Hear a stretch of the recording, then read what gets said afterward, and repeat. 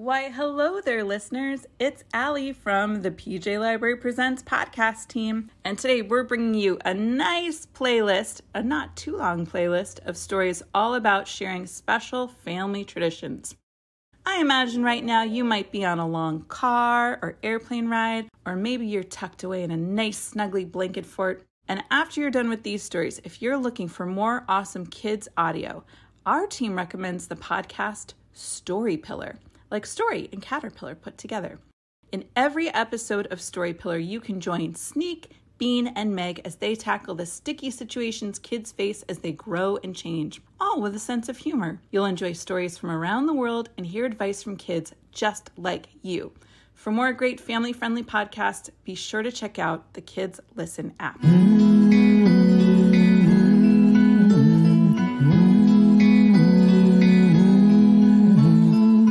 Grab a seat, a bite to eat, and settle right in. For hugs, snuggles, stories, and more, and so many sweet things in store. Mm. Mm.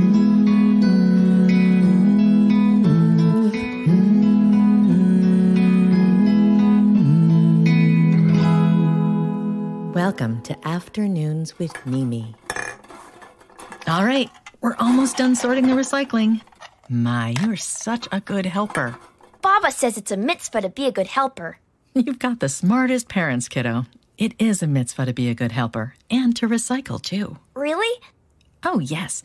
Not wasting, it's super important.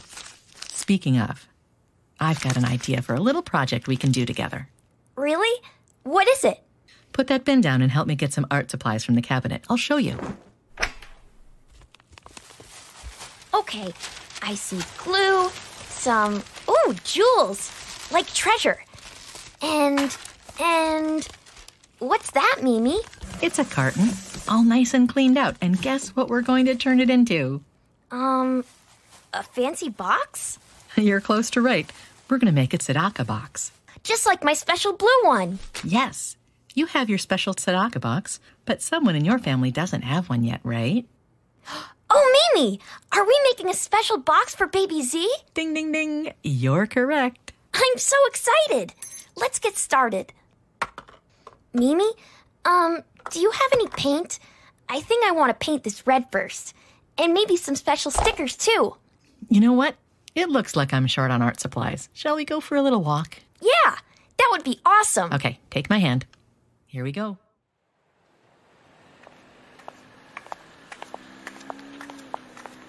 Hey, Mimi, um, why do we put money in a tzedakah box? I mean, it's really fun, and I like hearing the coins jingle in there, especially when Grandpa Ken gives me coins. But what's it all about? Well, do you know what tzedakah means?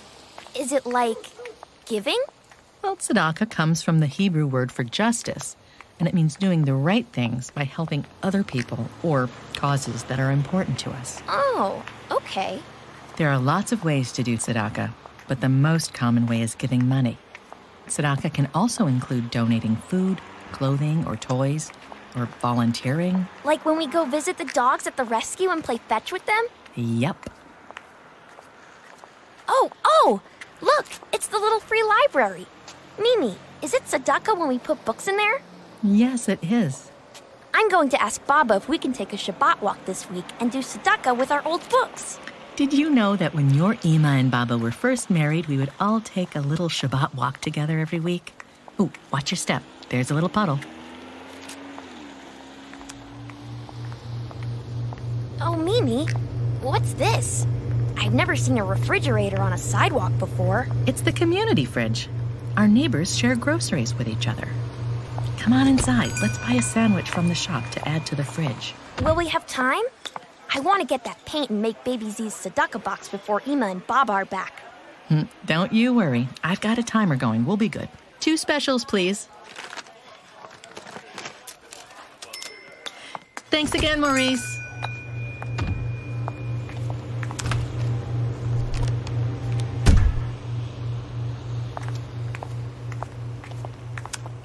Mimi, when we added the sandwiches to the fridge, was that tzedakah too? Yes, my love. Visiting dogs at the rescue, adding books to the little free library, or buying a sandwich for the community fridge. All of those are ways to do tzedakah. Mimi, Yes, my heart. did you have a tzedakah box when you were little? Oh, I did. I had a special one that my grandmother helped me make with a milk carton, just like we're going to do. Once we buy that paint. Cool. How long until we're at the store? Less than a minute, Bobola. Do you want to hear one of my favorite memories of my grandma? Yes, please. I love when you tell stories about being little like me. When I was your age, I would go with my grandmother early on Friday mornings to a great big market outside, and we would buy our vegetables and fruit there, and sometimes our chicken for Shabbat, too. Was it noisy? Yes, and crowded, and wonderful. There were so many different kinds of people, too. Was it like the farmer's market that Ima and Baba take me to? Yes, but even bigger. I felt like it went on for miles. In fact, let's turn down here. Whoa! Welcome to the Union Street Open Market. This is just like the one I went to when I was little. Mimi, look at all the lettuce! And what's that? Is that a prickly fruit? And bread! And wait, is that guy selling clothes? And that person has toilet paper? Mimi, people are selling so many things here. Mimi, Mimi, when you were little, what was your favorite thing to buy? Well, you might laugh, but I loved picking out vegetables for our cholent. And I have this very, very special memory about my grandmother. She always carried her money in a little embroidered purse. Like your change purse? Yes, exactly like that. And my grandma would count out her money for the vegetables, and then she would always put one thing back. One thing? Yep. Sometimes an onion or a carrot, or sometimes we'd get a smaller bundle of parsley, Why would she do that, Mimi? so that we would have a little bit of change. I don't get it. Oh, Mimi, can we look over there? Sure, let's walk. Well, my grandmother was a big believer in tzedakah. So if we had $10 for our groceries and our items came to exactly $10, she would put something back so that we would have a little bit, even if it was just 10 cents to put in the tzedakah box. Whoa! Look at all the things people are selling. I still do that to this day. Whenever I have a little bit of change for my groceries, I put it aside and. And then you let me put it in the tzedakah box. Exactly. And now we're going to have a box for baby Z to put some coins into too. We will. Mimi, Mimi, that stall over there has stickers and some paints and everything we need. Well, let's head over and see what we can find. Hmm. So it looks like we owe you $5 even. Uh, Mimi, Yes, honey? let's put back one sticker pack so we can have some money for tzedakah. That's a great idea. Okay, here you go. 425. Thank you so much. All right, let's head back and get started on Baby Z's new tzedakah box. We still have time, right? Well, we have a full hour until Ima and Baba and your baby brother are back.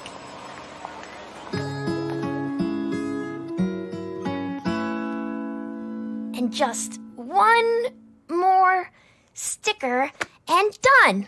Oh, it looks amazing. What a fantastic tzedakah box. Well, there's Ima. Make sure you grab your backpack.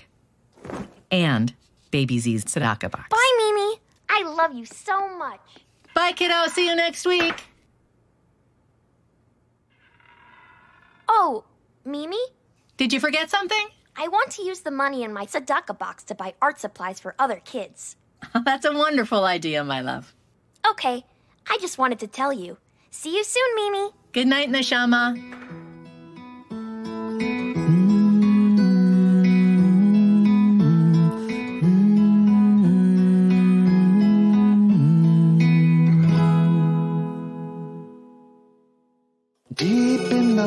Basement of Sofa Shalom, there's a dusty library that's really the home of a magical bookcase to another world. When Micah and Miri and their friends are home, where there's wolves and hares living fairy tales. Mr. Sayfair, the golem, and glass shoe sales. So come join us for the magic and mystery, maybe even a bit of Jewish history. Auntie P here to give us a taste of all the adventures beyond the bookcase, beyond the bookcase, beyond the bookcase. And one time, my Uncle Levy hid the afikomen in my mom's plants. It took me forever to find it. Jacob, maybe next Passover I'll let you borrow my binoculars. I always have them handy. Did you know that the reason we wrap the afikomen in a cloth is to reenact the way the Israelites carried the dough out of Egypt? I thought it was just to keep it away from me. I could eat matzah all day. Well, that we all know. Hello, my merry band of travelers. What are we all laughing about today? Are we doing jokes? Oh, oh, ooh, ooh, okay, let's see. Mm, oh, ooh.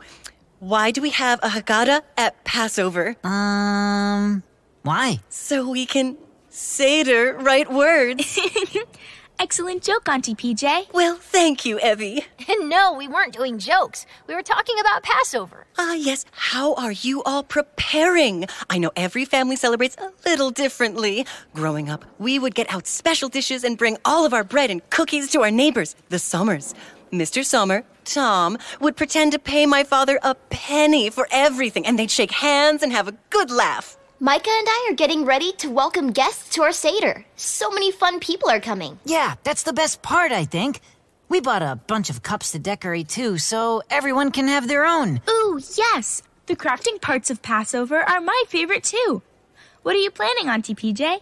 Oh, well, I have to do quite a bit of cleaning. You never know where Hametz might hide in a library.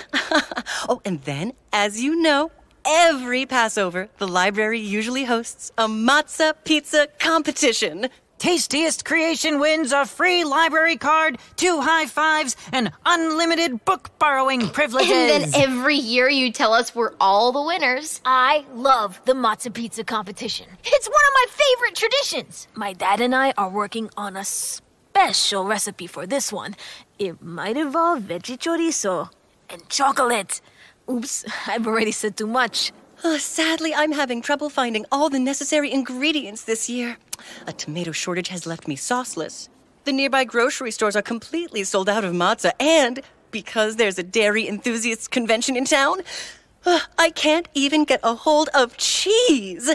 Quite a conundrum. Not unlike that time I had to solve Samson's riddle to escape from a hedge maze in Monaco. Wait, Auntie PJ? What? Are you saying we might have to cancel this year's matzo pizza cook-off? no! Oh no, don't you worry, kids. No, no, no, don't you. Oh, so um, uh, what's on your Seder plate this year? Ours is pretty standard. We've got some parsley, haroset, an egg. A lamb shank, some romaine lettuce for the bitter herb, and what am I forgetting? In my family, we add new symbolic things sometimes. This year, I'm adding an acorn to acknowledge indigenous lands. In fact, we stopped by to see if you had any books on Seder plates. My big sister has an allergy, so we use an olive instead of an egg. Wait, why is there a hard-boiled egg on the Seder plate? Excellent question. I love an inquisitive mind. As it turns out, I do have a copy of Four Answers Everything You Need to Know About Seder Plates in the back of the library. Perhaps you could help me tidy up and hunt for chametz while you search for it? Is it on our favorite bookshelf? You know it. Now off you go. I'm going to look up online pizza sauce retailers and uh, send a postcard to a dear friend I met at Victoria Falls while we were spying on a. I mean, vacationing. Just a vacation, not not the other thing. The, yes. uh, Um. Goodbye. Oh, that was abrupt. And mysterious. It is dusty back here. Do you really think we'd find breadcrumbs hiding on bookshelves? You mean chametz? I feel like anything is possible in this place. Look! Look! And, Jacob, that's not the book we're looking for. Humpty Dumpty and the Great Passover Feast. Now, what do you think that's about? Did you grab it from the. It's glowing!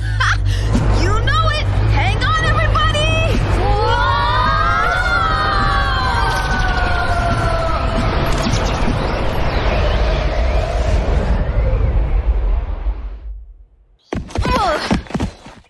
Wow, that never gets any easier. Or any less cool! Hello, Mashal! We're back! Mr. Sayfair's been really irritated that we've been here lately. Maybe we can just try to sneak. Well, past. well, if it isn't a gaggle of mischief makers come to wreak havoc on the land of Mashal. No, no, I cannot have it. You'll have to turn back. You know we can't just turn back. We don't control this whole magical vortex thing. Plus, we like being here. Nevertheless. Ticket, please. Hello, Golem. Blue, you are looking well. Ticket, please. No, no, no. No ticket. Golem, don't you dare. Sorry. Just when I was having the loveliest day. What's going on today that's so lovely, Mr. Sayfair? Well, dear sweet Humpty Dumpty is finally hosting a Passover Seder. He's been talking it up for weeks. We're all attending. Everyone is invited. Everyone? Well, not, I mean, well, it's like a fairy tale creatures kind of. Where's he hosting this Seder, Mr. Sayfair? His house. Golem! What? They asked. I remember his house from our Havdalah walk with Chicken Little. It was that pretty cream colored house all the way down that lane in front of us with the big high wall around it covered in moss and lilacs. Well, yes, of course that's his house, but do not bother him. He's probably all in a scramble trying to get everything done. He invited the whole town, and he's never hosted before. What a marvelous guest, though. Oh, I remember this one time he brought a matzo ball soup to Snow White's that was positively breathtaking. And he always does dishes. Arrives nice and prompt, and you know I value timeliness. But he sure put a lot on his Passover plate, so to speak. Wow, sounds like he could really use some help getting everything together. Oh, he absolutely could. Say no more, Mr. Sayfair. Help is on the way. Come on, team. No, wait, I. Bye, Golem! Bye bye, friends. And thanks for the tip on where to go, Mr. Sayfair. Why, Sayfair, why? Just once, don't give it all away.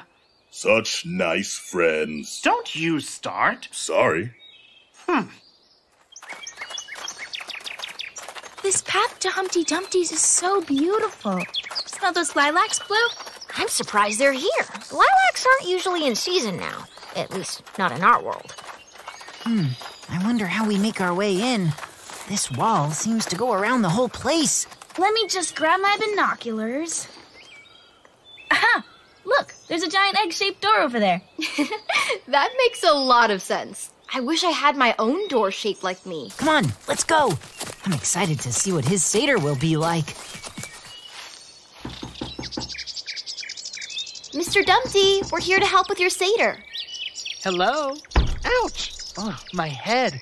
Oh, hello, Mr. Dumpty. I didn't see you under that picnic table. Um, what are you doing down there? Oh, I was so clumsy. I thought I'd prepare my famous Passover popovers outside as I listened to the birds, but I dropped my trays and then bumped my head on the way up to get them. What brings you kids to Mashal this time? Well, we're here to help. Mr. Sayfair told us you were hosting a huge Seder, and we all love Passover. Need some hands? Now, isn't that something? See, I thought I had it under control. I've never hosted a big Seder before, only attended others. And I so want to get it right. I have so many people to thank for hosting me all these years. I really had something quite grand in mind. Well, dropping trays isn't the worst thing that could happen. I mean, I'm just a little bit clumsy myself. A little? Okay, a lot clumsy. Like, I've tripped up the stairs more than once. Is everything else going okay? That's just the thing. Come, look over here. Wilted! You have a whole herb garden full of parsley? Amazing! Full of wilted parsley. Yesterday it was beautiful. Today, today they are exhausted. Why not tomorrow? Oh, whatever am I going to do? No, you know, I once read that parsley is in the same family as both celery and cumin. Pretty amazing, huh? You don't say. I do. And I think these just need a little water. Maybe you're right, but I doubt I'll have perky parsley in time for the Seder. Oh, I just wanted things to be absolutely perfect. Humpty Dumpty, we want to help make this the best Seder ever. It really will be okay. Where can you use us? You're so kind. Come with me to the kitchen, everyone. I just set up my Seder plate all full of delicious goodies. All except, well, the egg. And the matzo ball soup is simmering now. We heard your matzo ball soup is delicious. Well, isn't that nice? My grandmother once. Whoa! Whoa! Dumpty Dumpty! Oh no! Oh no! So clumsy, so clumsy. My Seder plate. It's. It's ruined. I wouldn't say that. The haroset has gone everywhere. Nobody's going to want floor Haroset. I'll have to throw it away and start over. Oh, the maror and the lettuce, too. I think the shank bone's okay, but oh my, everything's askew. We can totally fix it. Don't worry. At least nothing got in my lovely, perfect, beloved matzo ball soup. Ah! Oh no! My soup! I've spilled a whole bowl of sugar in it. It's completely ruined. oh, Humpty, watch out for the matzo. No! How did the oh, matzah end up on the floor? And now it's just, just matzah meal. How could I have a Passover Seder without matzah? It's impossible. hey, can you all step outside with me for a moment? Poor Humpty Dumpty's really stressed out. He wants this to be the best Seder ever, but it's making him even more anxious than usual. But how can we help? I don't know how to make matzo ball soup. I only know how to eat it. I feel so bad. Poor Humpty Dumpty is putting so much pressure on himself to create the perfect Passover. Maybe he just needs to chill out and remember what he loves so much about Passover. That always made him such a great, cheery guest. Evie, I really think that's it. He needs space, and he needs to not do everything on his own. And he probably could use a little help, even if he doesn't ask for it. According to my calculations, he needs fresh lettuce, parsley, a new batch of haroset, bitter herbs, and matzah. Plus, he needs to start some soup from scratch. What if we went to gather things and left him to take a deep breath and just make his famous soup? Blue, I love it. That's just what I was thinking. I'll go run and tell him. No! no! Sorry, Jacob. Maybe let someone in there who might not knock everything else over. No offense. Ha! You're right. I'll go, and you all figure out where we're headed. Okay, I'm thinking maybe Evie and I can head to Snow White's house. She does those definitely not poisoned apples. I bet she'd give us some to make new haroset. That's amazing. Jacob and Blue, do you want to come with me to the Hare's house? He has a beautiful vegetable garden where we could get some lettuce for the Seder plate. I bet he has plenty of fresh parsley as well, and maybe some matzah too. Actually, I have another idea of a place I want to go, and I know the way. All right, if I head there and we all meet back here soon? Sure, that's fine by me. And Evie's back. What did Humpty Dumpty say? Well, he cried a bit, but I think it was a good cry. He's gonna go start another batch of soup. And he says thank you. Where are we heading off to? You're coming with me. Come on, everybody. Good luck.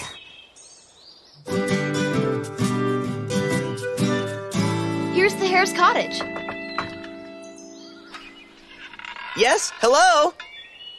Hi there, Mr. Hare. We were just wondering if we could borrow a few items from your garden for Humpty Dumpty's Seder plate. Why, of course! Humpty Dumpty is always such a thoughtful guest. I'm happy to help.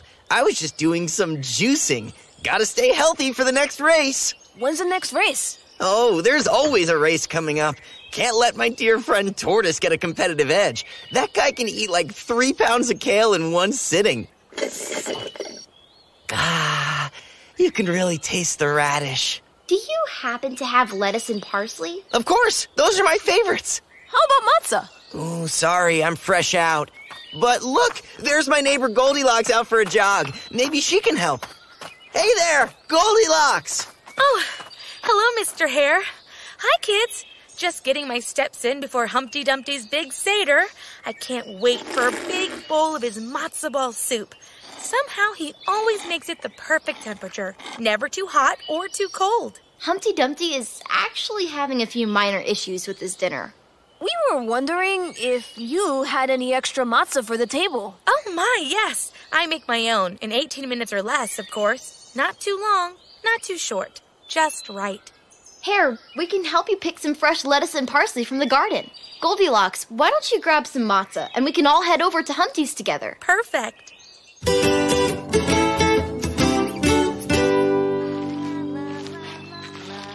Are we getting close?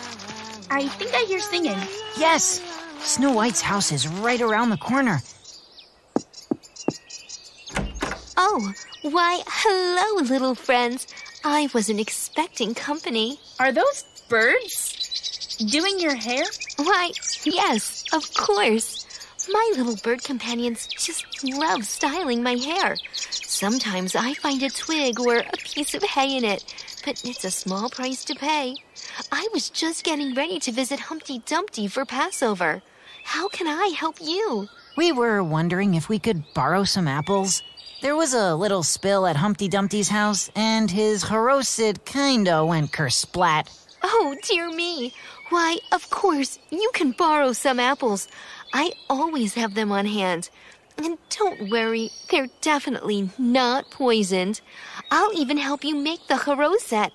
I believe some of my squirrel friends dropped by with walnuts earlier. That would be wonderful. Then we can all walk back to Humpty Dumpty's. He's such a sweet egg. And he makes the best matzo ball soup, too. So we've heard. Well, come in, young friends. No time to waste.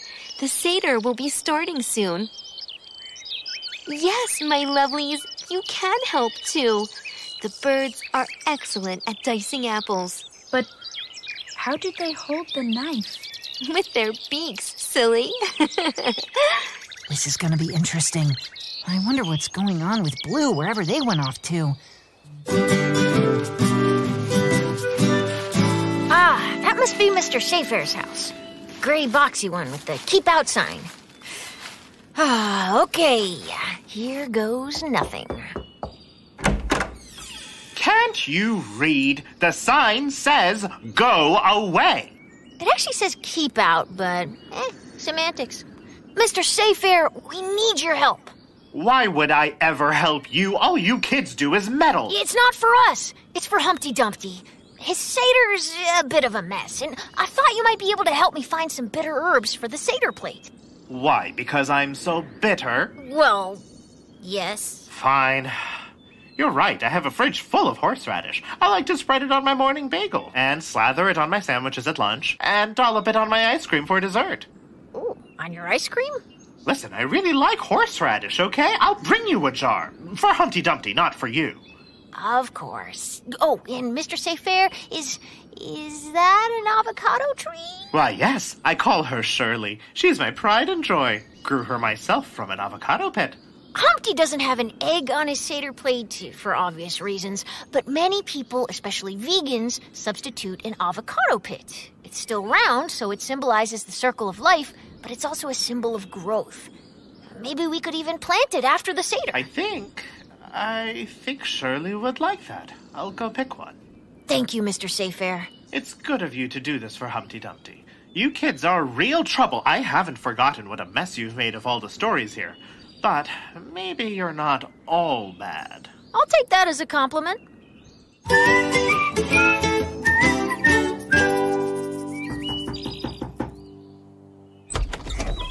Kids, you came back! And just in time to try the soup. Let me know if it needs any more salt. Jacob! Mary! Debbie! Micah! Blue! I didn't know you'd all be here. Chicken Little! So wonderful to see you again. I'm just helping Mr. Dumpty finish up his famous soup. Don't worry, it's vegetarian. We sent Snow White, Goldilocks, the hare, and Mr. Sayfair to the backyard to set the table. And we've got everything you need here to fix up your Seder plate. Well, come on in. The sun is setting! The sun is setting! Not quite yet, but it's definitely about to. We better hurry up and finish the Seder plate. Evie and I made Haroset with Snow White, with the help of some of her bird friends. And they had surprisingly impressive chopping skills. And Jacob and I borrowed fresh parsley and romaine lettuce from the hare's garden. The parsley reminds us of spring, and the lettuce symbolizes the bitterness of slavery. Mr. Sayfair lent us a jar of horseradish to use as maror, also for the bitterness of life as a slave. That guy loves his horseradish. Now, I'll just put a little bit of Haroset here. It's supposed to look like the mortar the slaves used, but the apples are sweet to remind us of the sweetness of freedom. Now, we just put back the shank bone, which stands for the sacrifice the Jews made before leaving Egypt. Perfect. But there's one thing missing. Right, the roasted egg. Ah, Don't worry, Mr. Dumpty and Chicken Little, it's okay. You can substitute this avocado pit for the egg. Mr. Sayfair gave it to us. Wait a minute. Mr. Sayfair gave you an avocado off of Shirley? Wow, he must really like you kids. Oh, he doesn't. He likes you. Actually, I, I think you might like me too. Aw, that just soft boils my yolk. My yolk is my heart. I gathered. All right, the table is all set. You're going to love this tablescape. The birds did an admirable job. Grab a seat, everyone. Time to eat. Thanks, kids. You've really saved the day. My famous Passover popovers are looking golden brown and lovely, and my matzo balls are as light and airy as clouds. Finally, I get to host my perfect Passover. Now, try the soup. Delicious. Wow. It's wonderful! Best wonderful. matzo ball soup ever. It's been so lovely to see you all again. You as well. It was really fun gathering ingredients from everyone. Thanks again for sharing. Whoa, sounds like that's our ride home. That magic vortex always shows up right as we start having fun. Hag Sameach, Humpty Dumpty! Hag Sameach, kids.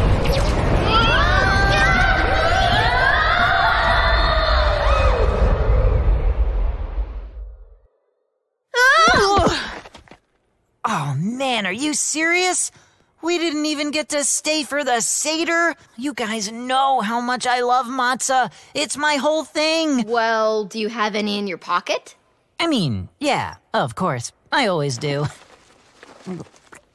Mm, it's good, but it's not the same. We'll just have to be satisfied with the fact that we did a good deed and helped Humpty Dumpty welcome his guests. I guess. Hey, do you think we could save PJ's pizza cook off by doing the same thing? I'm sure some of our neighbors have some cheese or sauce. That's a great idea. And not to distract, but have you noticed our bookmark is starting to look like a. A key! But to what? What does it open? It's a Star of David. We just have to look for something else in that shape and line up the bookmark. Maybe on the sides of the bookcase. Find a Star of David in a synagogue. No problem. Why, hello, children. Did you find that Passover book I mentioned? Ah, PJ, you snuck up on us. No, we didn't find the book, but we found our answers anyway. Excellent. Well, I hope you had an enjoyable time exploring the library and definitely not having any other sort of adventure. We always do. Any luck with the matzah pizza competition? Ah, sadly, no. Without the proper ingredients, I'm afraid this yearly tradition is kaput. Hey, you know, we worked together to save Humpty Seder. I bet we could do the same for Auntie PJ. Humpty, you say? Just a friend of ours, Auntie PJ. Mary, you're right. My grandma grows prize-winning tomatoes. I'm sure she'd let us have some to make into sauce. I've been growing bell peppers and zucchini in my backyard. We could use those as toppings. We could ask the dairy enthusiasts if we can borrow some cheese. I bet they have more than enough, especially if we tell them it's for a good cause. Pizza! Well, that would be wonderful, children, but we're still missing the most important ingredient matzah. Hmm, you're right. Mm, can't make matzah pizza without matzah. Hey, wait a minute. Mm, my mom and dad have a whole cabinet full of matzah. Yes, they always practically buy up the whole store to keep you in matzah year round. I'm sure they and you could spare a couple boxes for Auntie PJ's pizza competition. Definitely. Oh, really? Oh, how wonderful, kids! You've saved the day. The matzah pizza competition will go on, and you'll all have to enter. Of course. I wonder how horseradish tastes on pizza. Huh? It might be good. You never know.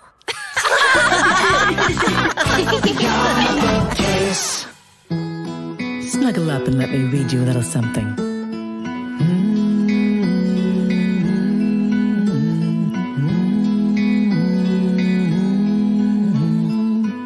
A bite to eat, and settle right in. For hugs, snuggles, stories, and more, and so many sweet things in store.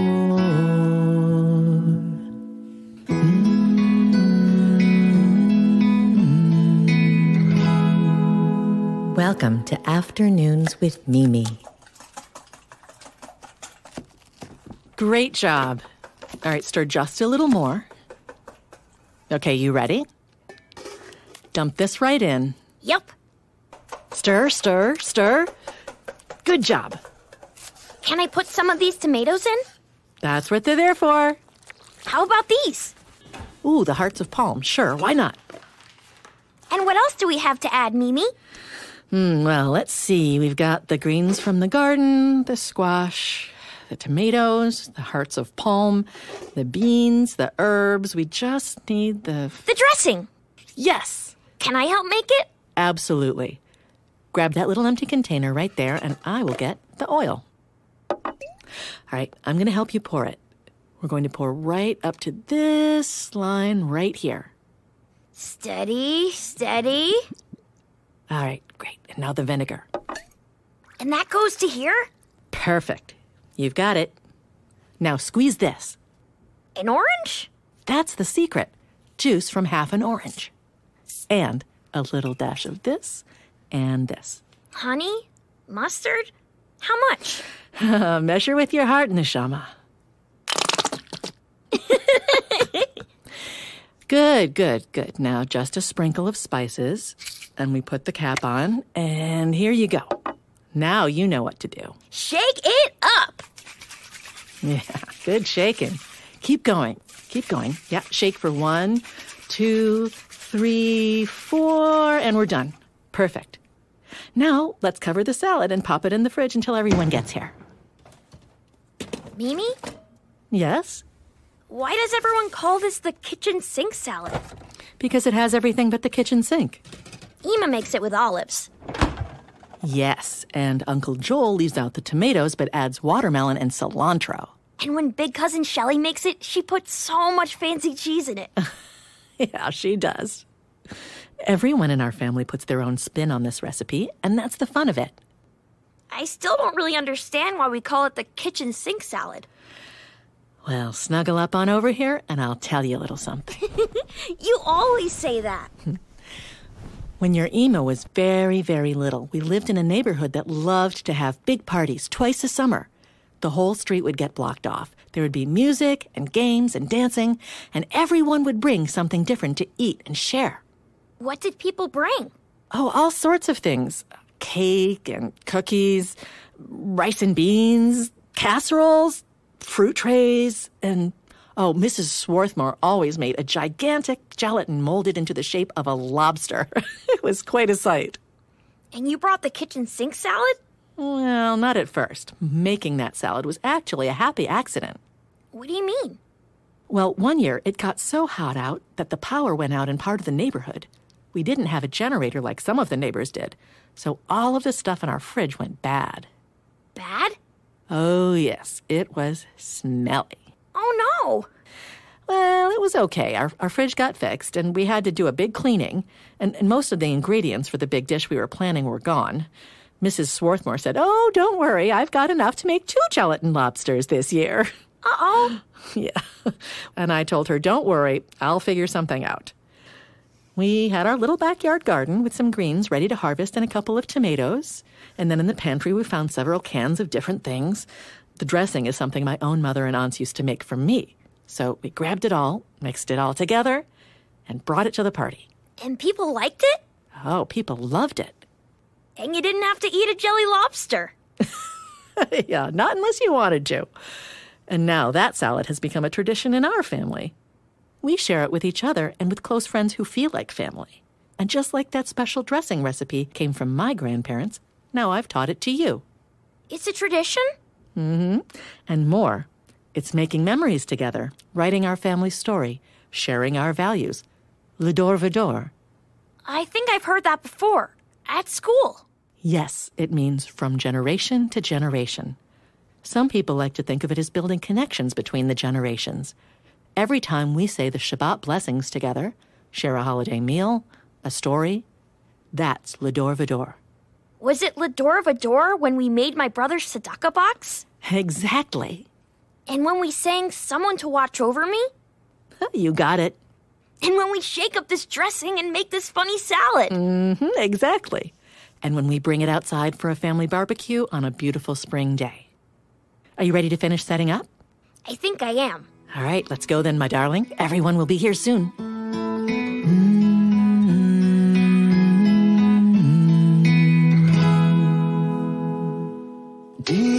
Basement of Sofa Shalom, there's a dusty library that's really the home of a magical bookcase to another world. When Micah and Miri and their friends are home, where there's wolves and hares living fairy tales. Mr. Sayfair, the golem, and glass shoe sales. So come join us for the magic and mystery, maybe even a bit of Jewish history. Auntie PJ's here to give us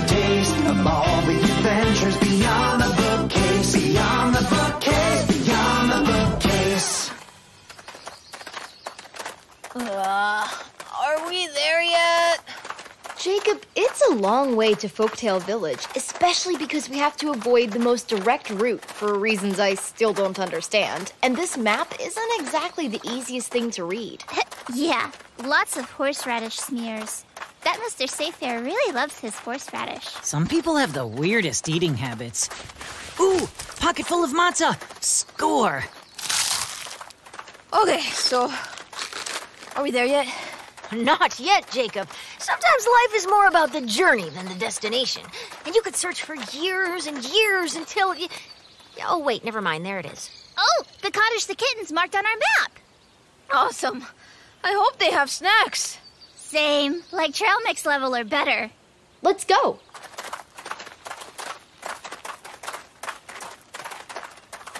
Looks kind of abandoned.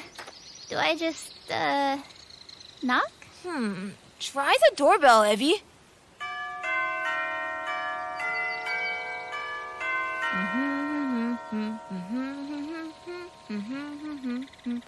Ooh, that's catchy. Kids! Cinderella? Is that you? What are you doing here? That's exactly what I've been saying. This isn't quite the royal abode I've become accustomed to. This cottage doesn't even have air conditioning, and this gown is made of like 50 layers of tulle. Not exactly breathable. And what brings you children to the middle of nowhere? We're heading to Folktale Village to help fix the whole golem situation. But the three little kittens told us we could rest at this cottage. The golem disaster, you mean, Micah? Hey, Punsy, we've got company. Why don't you kids come on in? I could really use some help. This place is covered in at least 10 years of dirt and grime. Huh. Nice place you've got here. A little dusty, though. Any chance you have snacks? Of course. Help yourselves. There's trail mix in the kitchen. Hmm, with raisins? Yes. Oh, and chocolate candies? Well, Jacob and Evie, you know I wouldn't consider it trail mix without the chocolate candies. Why, that's the best part. Yes! You know, when I was your age, I was already doing a lot of chores around the house. Mostly sweeping the cinders around the fireplace, but also plenty of mopping and dusting. Uh, great story, Cindy. Uh, we're just gonna go grab some food and. Uh... Seems like you're the perfect age to get started with deep cleaning. Your small hands can fit into every nook and cranny. Uh huh. So, when you're done snacking, can you start scrubbing the grout? Here's a sponge for each of you. Teamwork makes the dream work, after all. Um, okay. D- sure. Uh, we'll do the best we can. The bleach is under the sink. Rapunzel, you coming? Be right there. Oh, these ridiculous extensions. My neck is getting so sore. Oh. It's like carrying a 30 pound weight around my head. Hi, kids. Nice to meet you. I'm Rapunzel. We gathered. I'm Blue. This is Miri and Micah. Evie and Jacob just headed to your kitchen for trail mix. Ah, uh, yes. The kind with the chocolate candies. Your hair, it looks. um.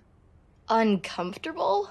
Smart kids. It's not just uncomfortable, it's downright painful. You see, I've been rocking the most adorable pixie haircut. It's true, it totally shows off her cheekbones. Oh, thank you, Cindy.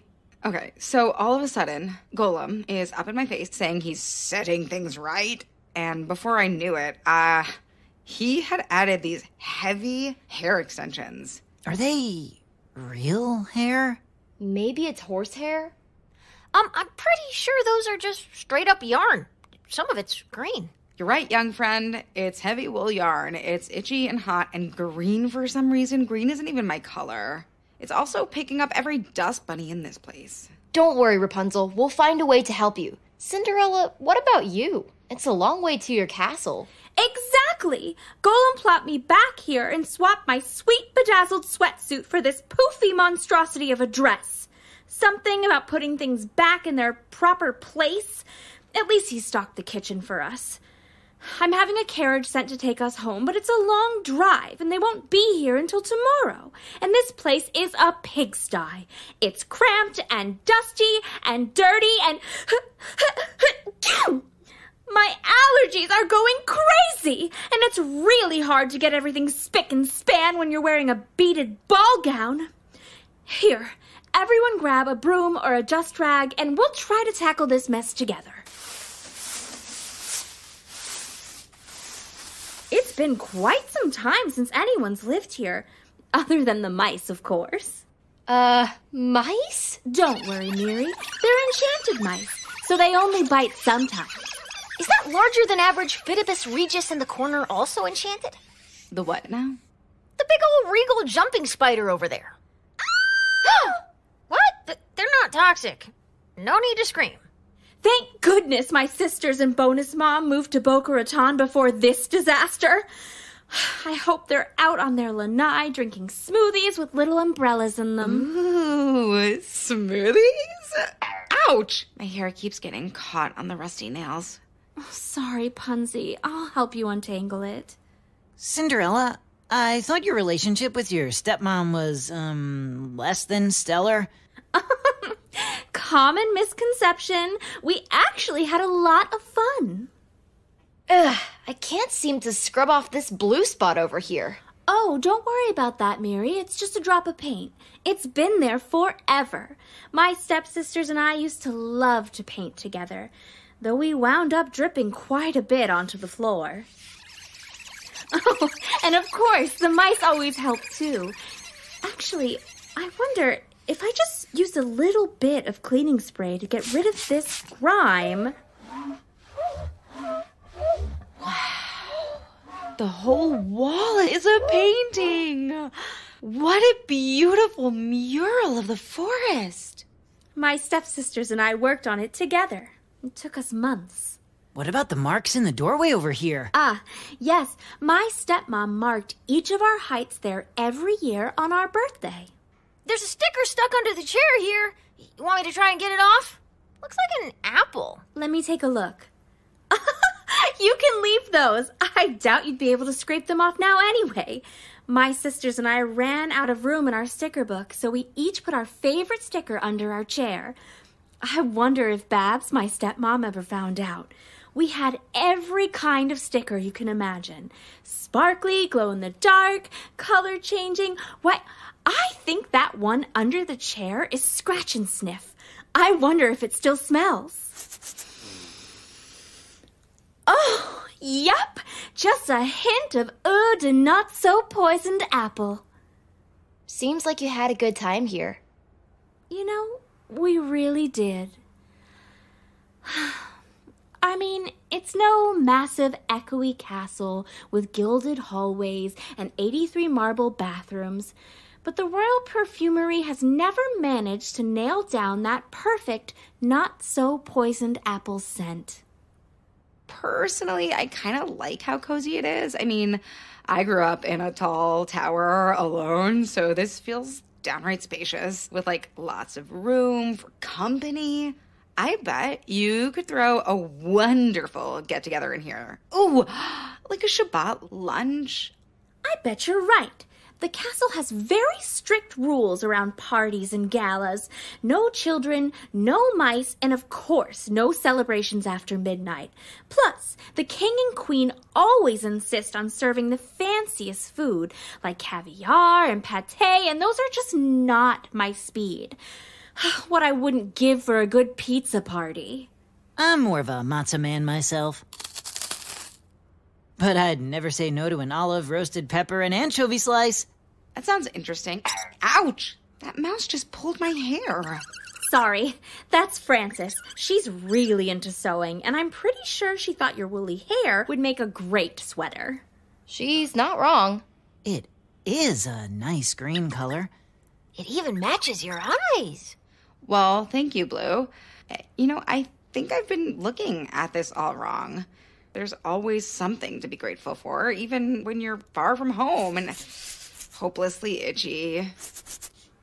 Why don't you kids stay for the night? It's getting dark out, and we've got plenty of beds and a kitchen full of snacks, thanks to Golem. More things to be thankful for. In fact, I think we have all the makings of, dare I say it, a pizza party. Yes! Evie, Jacob, can you check the fridge for anchovies? We're on it. Staying overnight does seem like a good idea. We can rest up for the next part of our journey. And Cindy, didn't you mention that you used to love jogging around these forests?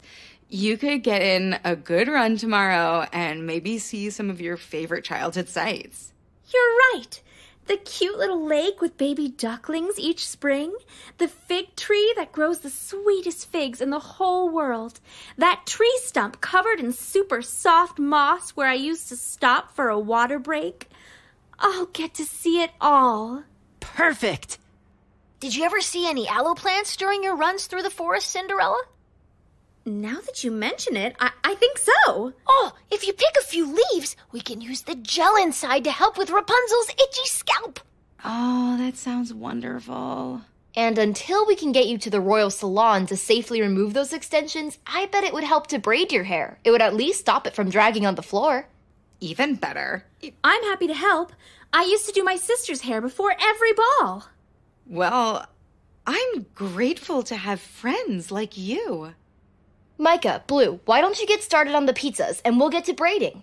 It might take a while. Great idea, Miri. Okay, now if I can just find the ends of your hair, we can get started. Ah, here we go. Here, pass that one over to me. And this piece goes underneath. Yep, and this one goes on top. Mhm, Yep. There we And go. through. Ugh. Oh, great job. hmm It's beautiful. Hey, this is going faster than I thought. Well, that's because the mice are helping. Extra cheese on the pizza, please, kids. Ouch. One just bit me. Sorry. They're enchanted, but they're still mice.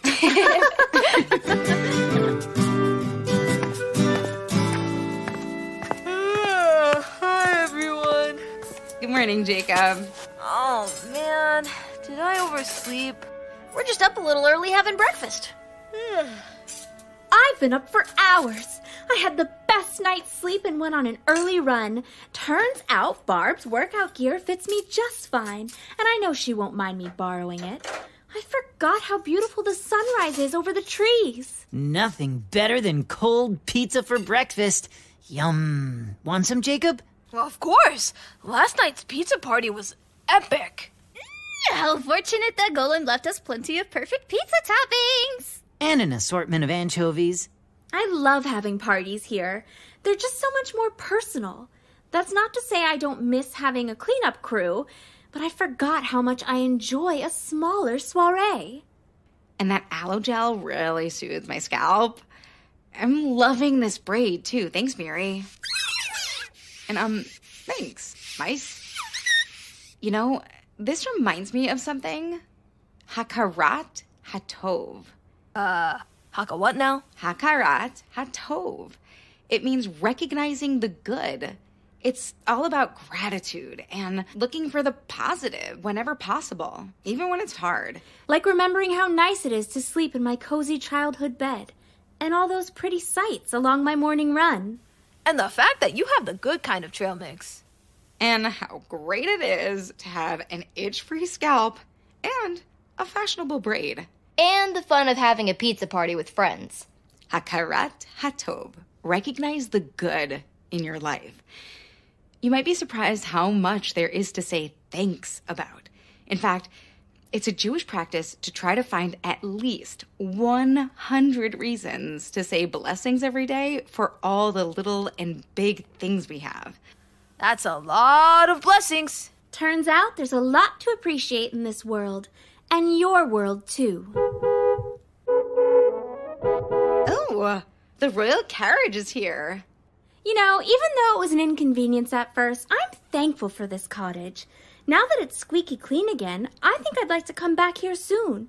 It's full of good memories, and it's a great place for more intimate parties. The prince and I were just thinking that we'd love to do a much smaller Passover Seder this year. Those giant Seders can be a little overwhelming. We always end up hard boiling 18 dozen eggs, and guess who's stuck peeling them? You? Well, n- no, because I'm a princess, but I'm sure someone is. We'll walk you kids out. Be sure to take some extra trail mix for the road. Way ahead of you. Already filled all my pockets. Kids, thanks for all your help. Good luck on your journey, and remember to look for all the good things along the way. Um, is that a goat? It's most definitely the same weird goat we saw last time. And now it's wearing a floppy sun hat. With polka dots and feathers. Huh. You know, I could swear that hat belonged to an old friend. She was like a little peculiar, but she had style. Went by Petronella Juniper. I was never sure that was her real name. Petronella Juniper? Auntie PJ, I hope she's not in trouble. we've got to follow that goat. Blue's right. Have a safe trip home, princesses. We've got a goat to catch. Come on, everyone, let's go.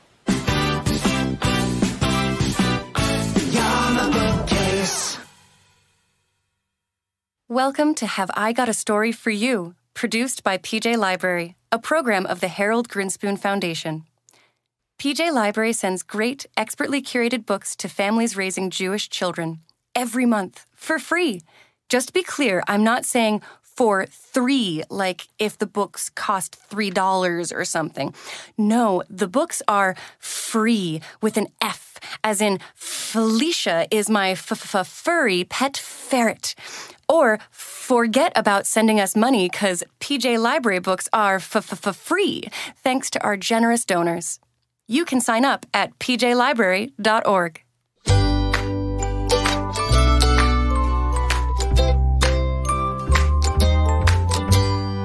Have I never told you guys about my pet ferret, Felicia?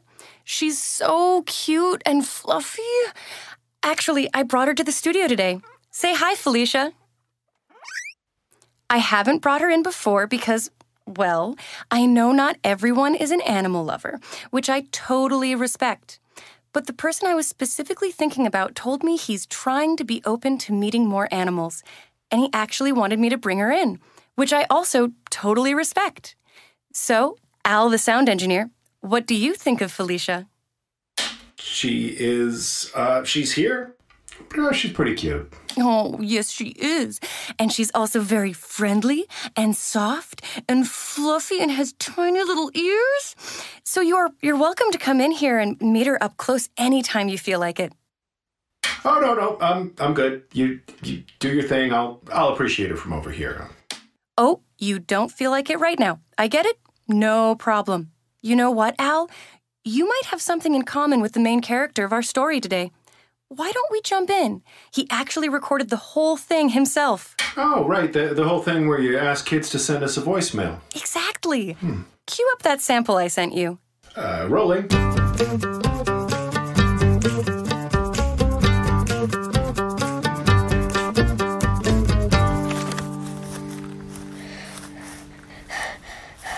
Okay, I think I'm safe here. At least for now. Right, I'll talk as long as I can. But sorry in advance if I have to start running all of a sudden. It's just the way things are right now. This is Special Agent David King. I won't say my current location in case things don't go my way and this recording falls into the wrong hands. Uh, let's see. Conditions here, not great. I finished my food supply a while ago and I'm getting hungry.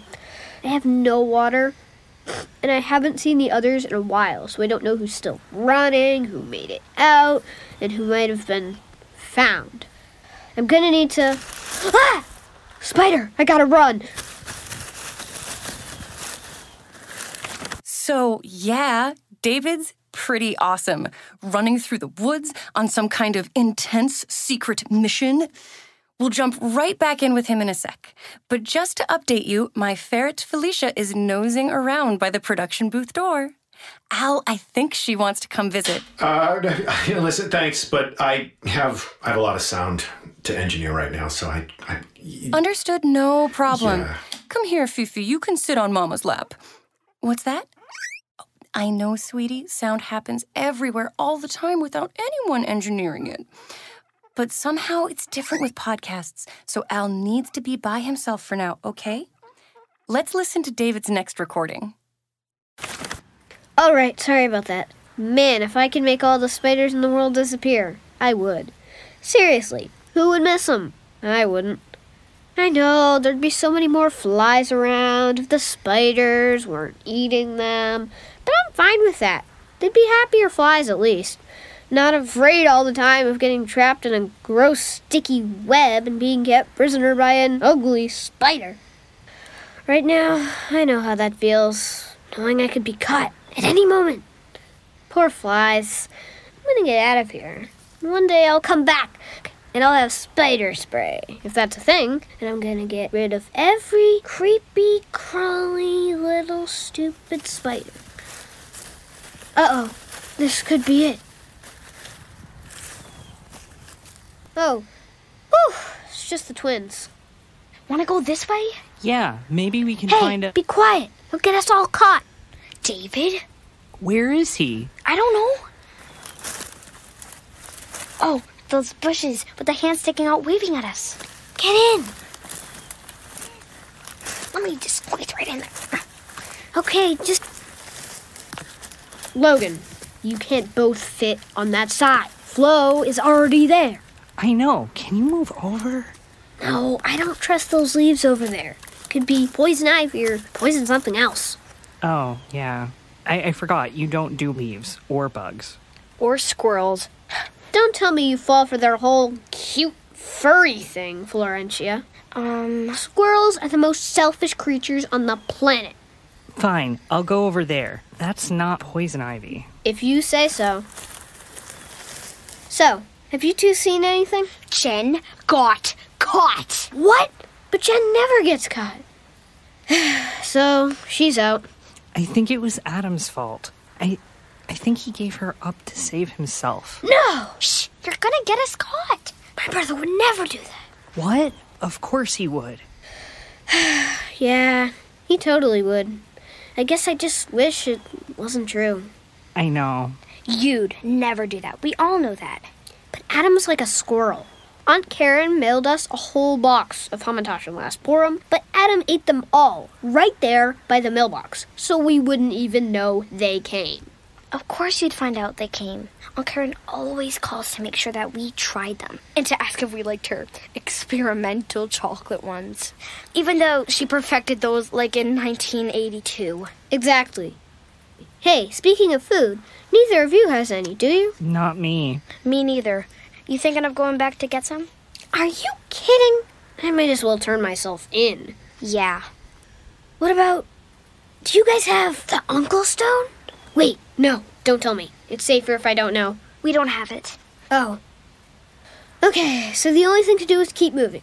We probably don't have a lot of time until they. Shh. We're not safe here. Too many of us. And it's too gross in these bushes. I feel like I've got spiders all over me. What do we do? I'm not sure. Do you know if spider spray is a real thing?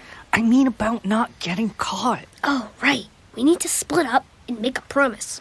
Logan and I are not splitting up. Obviously. No, I mean you guys go one way, I'll go another.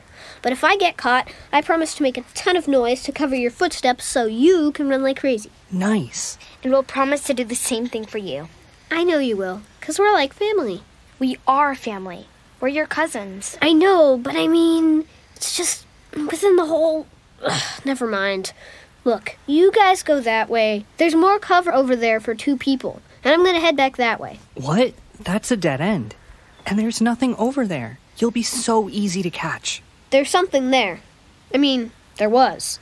If it's still there, It would only help one person and not a pair of you. Oh. All right, we'll see you soon. That's right. I like the attitude. You will see me soon. Take care of yourselves.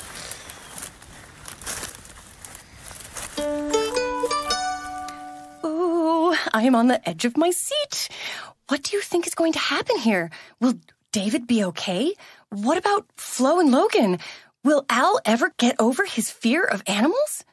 No, I, I, I'm not afraid. I, I am just Right, less than comfortable. Anyway, around. David's story is very similar to a very old Jewish story called a midrash. Ben Sirah told a story of King David, leader of the Jewish people, fleeing from the nefarious, that's a big word for evil, King Saul, and hid in a cave with an assist from a spider. You can learn more on our website, gotastorypodcast.com. Now, let's see if our David story has a similar ending.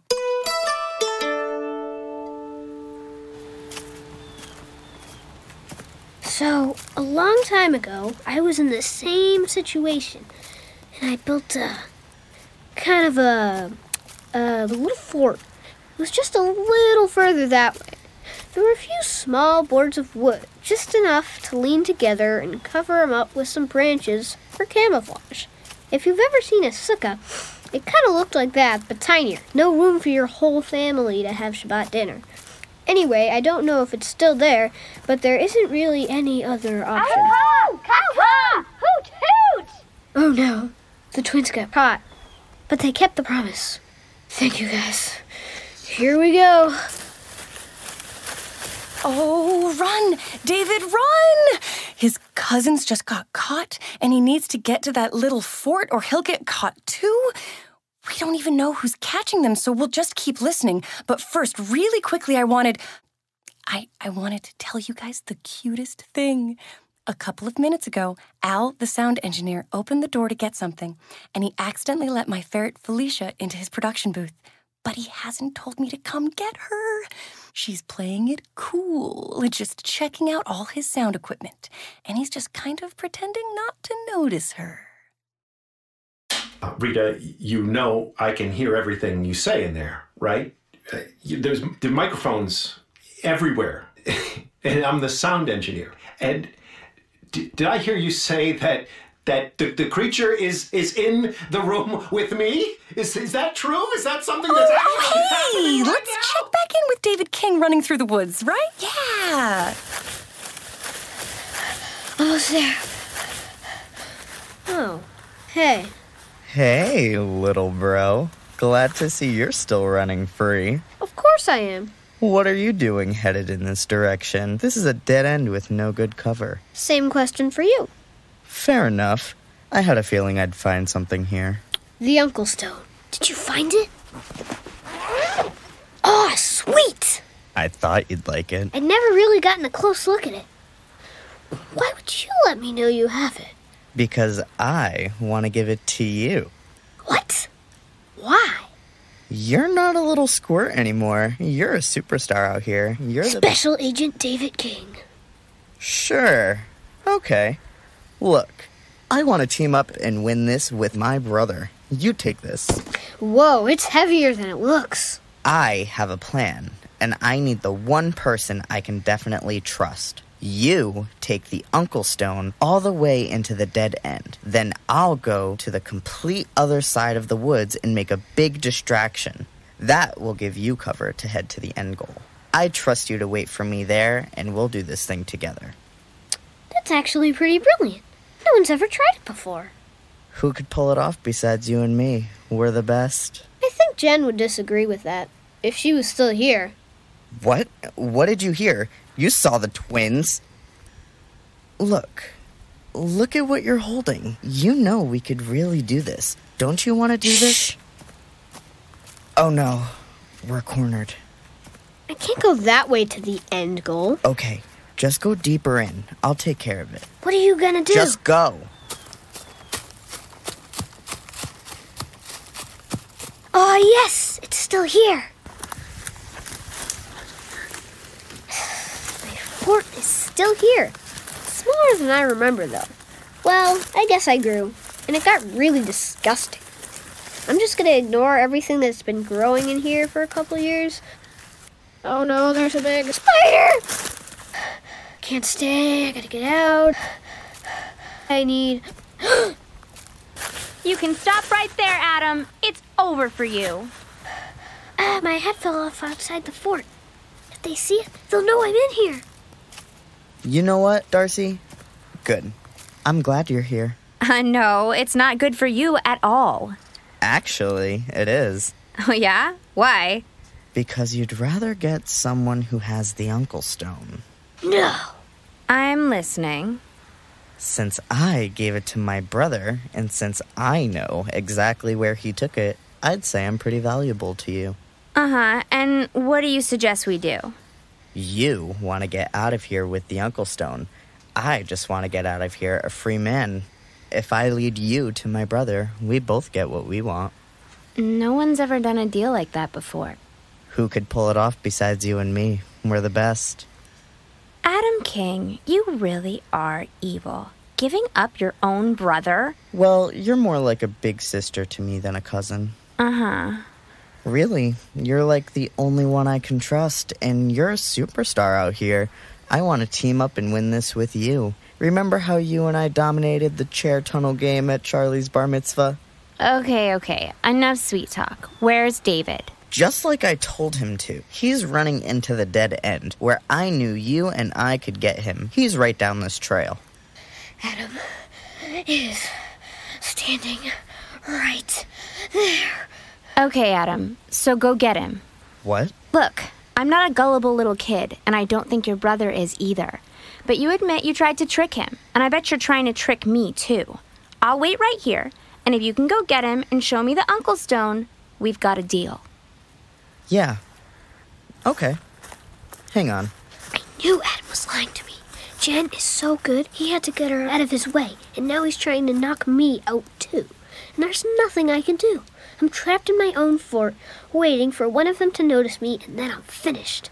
I can't even. Squirrel! What the? My hat? Holy cow! I wish this was recording video. A squirrel just crawled in here, dragging my hat with his teeth. Thanks, little critter. Ugh. Then he crawled out of here under a web that this spider is making. I'm gonna have to clear that out to get away. Yeah. This is crazy. He has to be here. Uh huh. That was a pretty good waste of my time, Adam. I'll give you that. No, he's here. He's got to be right around here. Just let me look. There's nowhere to hide here. That's why only dum dums like you would come this way. He's tricking us. He's got a. Wait. What's that? Look in there. That's a totally obvious Adam hiding place. Ew, this pile of rotting wood and leaves? No, there's a huge spider web covering the opening, so no one's gone in there for a long time. He must have just laid down, and somehow we ran right past him when you were chasing me. He can't have gone very far. Drop the story already, Adam. It's over. He was here.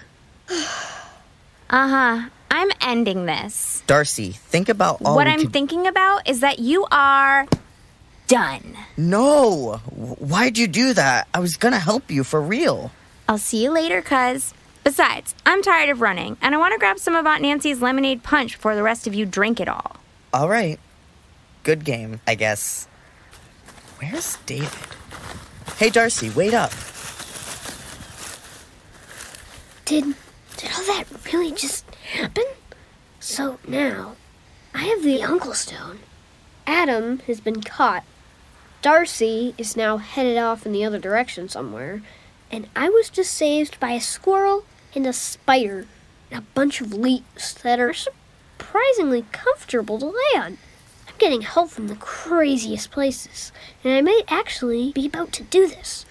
Spider friend, thanks for the web. Sorry I need to bust through it, but you'll make a new one real quick, I'm sure. Oh, here. You, you, you. That is a sticky web, but I love it. Okay, here goes. Here. Oh. Oh, you guys, I think David's about to do it. First, I didn't know if he could do it. Then I thought his brother was going to stop him from doing it. And I still don't really know what it is, but I think he's about to do it. And Al, the sound engineer, I'm glad you're hearing this part of the story about giving other creatures a chance because sometimes you'll find out they're really your friends. Al? Sorry, I, I couldn't push the intercom button to answer you right away because uh, there's a ferret climbing up my arm. Oh, that means she really likes you. You two keep bonding. The rest of us are going to hear the end of David's story and figure out what game it is that everyone's playing. I can't tell if it's capture the flag, a LARP, Parcheesi, or maybe all of the above. I'm almost there. All right, kids, dinner is about ready, and we got Aunt Cheryl on FaceTime. Is this uh, is this wrapping up? I think so, Ma. Wow, it is a long one this year. Has Nathan been to the bathroom? Yes. It'll be over soon, Ma. Almost everybody's out. Except for. Except for the 2019 Family Chase Champion, Special Agent David King. Good job! Years, Oh, Jen hasn't won little this thing. Davy, How do you all do that? up. Amazing. Okay, take off the shoes when you come inside, everyone. Mara! Hey, little David won that big chasing game or whatever it is they've been doing in the woods all day. Well, they better still have my paperweight. I got that at the Bushwick Flea in 1987. We got it, Uncle Ira. David, I've never seen you covered in dirt and leaves. It's a good look for you, champ. There's a lot of spiders this year. Aren't you, like, afraid of bugs? Not anymore. You finally realize you can just squash them? No, I don't want to squash them. I just realized that even a super creepy one might give you something helpful. Right, Adam? Oh. Ha ha ha. Enjoy your moment, little man. I don't know how you did it, but nice work. Yes. Yes. Yes. yes. Let's eat. Wait, what's that? I'm just turning off my voice recorder. Oh, I forgot you keep that on when you do your special agent thing. Yeah, I recorded the whole family chase this year because they might make it into a podcast. A podcast? Wait, you recorded like everything that happened out here? Yep. My sweet brother, you know that I wanted you to win that whole time. Mm-hmm. Yeah, this went exactly how I planned. Yeah, right. Seriously, I just. I couldn't tell you because, you know, your reaction had to be believable, so. Ah! Is there something in my hair? Let me see. Oh, yeah, there's a big spider. Hang on, I'll scoop him up so we can send it back into the woods. Thanks, bro. Hey, so you and I should win together next year. Here's what I'm thinking, and it's your call, of course. You're the champ, but with my brains and my strength and your, you know, smaller brains, uh, we could do it.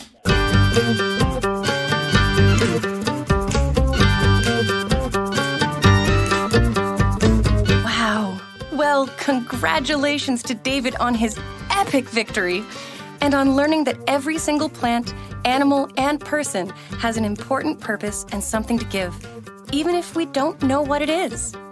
Take bees, for example. Of course, no one wants to get stung by a bee, but we know that honeybees make delicious honey. But did you also know that while they're making honey, they're helping to pollinate all kinds of plants that people rely on for food? In fact, it's estimated that about a third of the food we eat couldn't grow without this pollination help from bees, other insects, birds, and bats. One third of our food. That's like one whole meal from each day.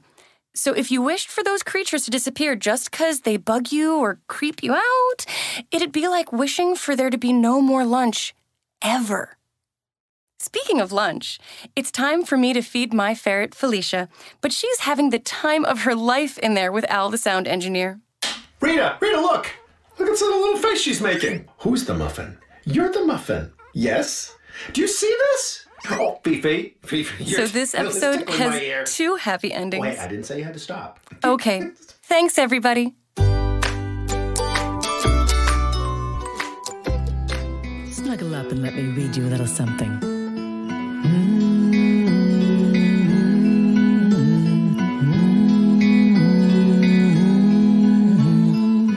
Grab a seat, a bite to eat, and settle right in. For hugs, snuggles, stories, and more, and so many sweet things in store.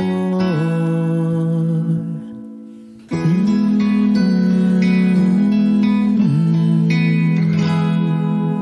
Welcome to Afternoons with Mimi. Mimi! Mimi! Hi, hi, hi, my love. Shh, shh. I know you have something exciting to tell me, but your baby brother is sleeping. Oh, okay. Well, I was going to tell you that tomorrow is silly hat day at school. Can I borrow your gardening hat? Oh, yes, yes, of course. Wait, what's that music? Ah, I forgot to turn the radio off. Do you like what you hear? Yes, it's beautiful. What's that song called? I think I know it. Someone to watch over me. Oh, wait. Did you used to sing it to me too? You know I did. This has been my special Settle for Nap Time song for all of my grandchildren. My mom used to sing it to me when I was little, too. so it's a very old song. I guess that depends on your definition of old. It was written in 1926 by a pair of famous Jewish brothers, actually. Like me and Z? Yeah, brothers just like you. Would you like to hear a little bit about them? Yes. Okay, let me turn this down a little. And grab you a little snack. All right, hop on up here to your chair. There's your juice and a nice plate of Bagel chips! Yeah, shh, shh, shh. Oh, yes, they're your favorite. With some strawberry cream cheese dip right there. All right, remember, we have to keep it down to let Z sleep. Sorry. No worries. Now, snuggle on up, and I'll tell you a little something about the famous musician brothers who wrote this special song. Once upon a time, there were two brothers, Ira and George. Who was the big brother? Hmm, I believe Ira was older. He and his brother George were born in Brooklyn, New York, and would go on to become some of the greatest songwriters in American history. Did they have other brothers and sisters? Hmm, I think they did. We will have to look that up later. Ira liked to write the words, and George would write the music. They were a team. And in 1926, they wrote that song you love so much. Someone to watch me? So close. Someone to watch over me. Was that their only song? Oh, no, no, not at all. They wrote so many wonderful and beautiful songs. Together? Yeah. They each started out writing songs on their own, but then began working together. Maybe when Z is a little older, you two can build and make things together too. And Mimi, you said they were Jewish like us too? Yes, Ira and George were both Jewish. Their parents were from Russia and came to New York to raise their family. Growing up, the brothers and their siblings all heard traditional klezmer music and other traditional songs that people in their community sang and played. And this influenced the music they would write later. So, is liking music part of being Jewish? Yeah, you could say that. Think of it this way Jewish life is rich in song. We sing in synagogue, we sing blessings, and during holidays, we sing. We sing a lot, especially at Passover. Yes, especially at Passover. You do love to belt out Chad Gadya.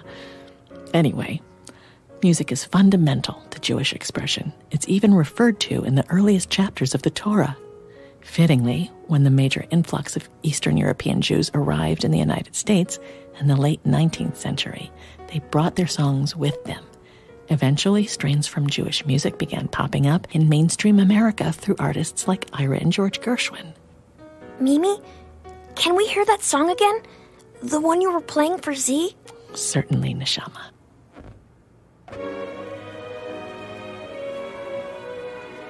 Mimi, Yes? what are the words to the song? Will you tell me? There's a somebody I'm longing to see. I hope that she turns out to be someone to watch over me.